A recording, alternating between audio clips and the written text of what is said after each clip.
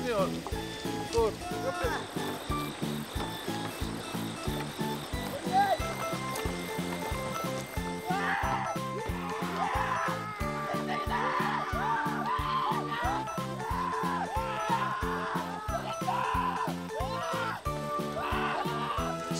좀 화물차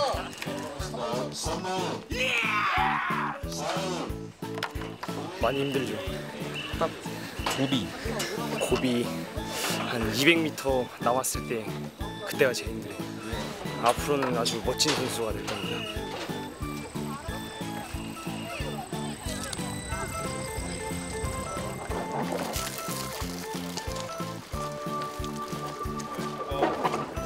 컴퓨터 될 거죠. 8.60 수고했습니다.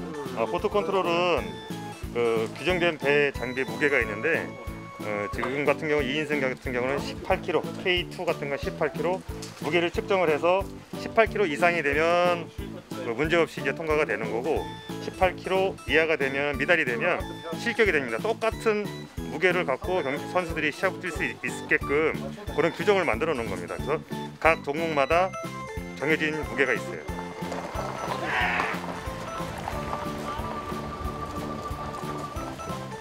photo finish 카메라가 저쪽 기준선 기준으로 일자 일렬로 그 선을 정렬한 후에 캡처 버튼 누르면은 천분의 1초별로 각각 이미지를 찍으면서 여기서 취합을 하는 거예요.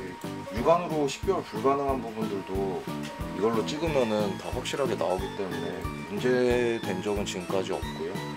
정확도도 이거는 확실하게 이제 보장할 수 있어요.